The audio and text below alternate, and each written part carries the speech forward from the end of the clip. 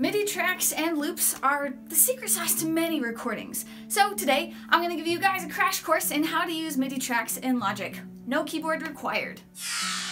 What is up, Yoshis? My name is Beth and I run Steadfast Ascent. Today, we're going to be talking about MIDI tracks. Now, what is MIDI? Well, MIDI is an acronym that stands for Musical Instrument Digital Interface. And for the purposes of today, because this is actually technically a historical term, it simply means that when you open a DAW, you have access to virtual instruments that can be controlled with virtual software or a standard keyboard or one of those drum pad thingies that you sometimes see. Sometimes all three can be on the same device. Now I realize we're not in the 80s anymore, but the reality is, is that almost all forms of music can use MIDI. It really just matters more about your creativity rather than the ability of the sounds. Now granted, virtual sounds are not always the most realistic sounding, and so sometimes you may write something and think, wow, this is really good, if only I could get a real person to play it. But unfortunately, real people can be expensive. Not to say that you shouldn't sometimes use them, and not to say that you can't negotiate with them, but the ability for you to compose something with virtual instruments is unparalleled. I'm assuming you're here because you use Logic. How are we gonna use it? It's quite simple. First of all, you just have to open up a new track, and then I go into the library and I select whatever sound I want. Now, one of the beautiful things about MIDI and about virtual instruments generically is that you can use third-party software. Logic is filled to the brim with awesome virtual sounds, but you can get more.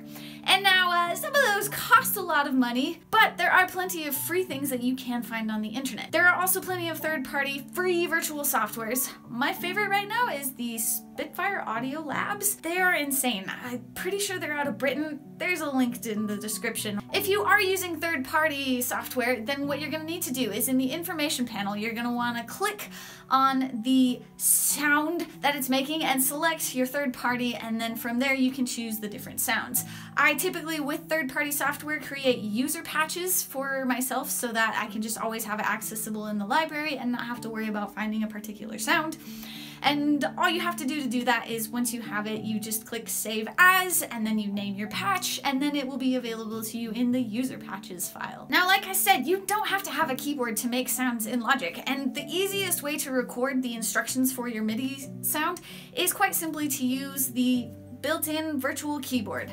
This is easily accessible by clicking Command K, and then you just use your keyboard as a keyboard. You press record, and then it just lets you do the instructions. And the nice thing about MIDI is that you can record the instructions for what you want the sounds to play, and then as you're listening to those instructions, change what sound is playing over them. If you need more keys, you might need a keyboard. We have links to ones that we have found useful in the comments below, but honestly, you can also just like look in Facebook Marketplace or one of the other virtual marketplaces and find a used electronic keyboard because most of them have the capacity to be used as a MIDI controller in Logic. The tricky thing about MIDI is, like I said, that the virtual instruments don't always sound realistic. However, there are ways that you can get around that. We'll be talking about that in a later video, so if you have watched this far, I would just like to thank you for getting this far. Consider giving us a like if this has helped you in any way, shape, or form, and as always, feel free to subscribe for more content just like this one. As I mentioned, I will be talking about how to make virtual instruments sound more realistic.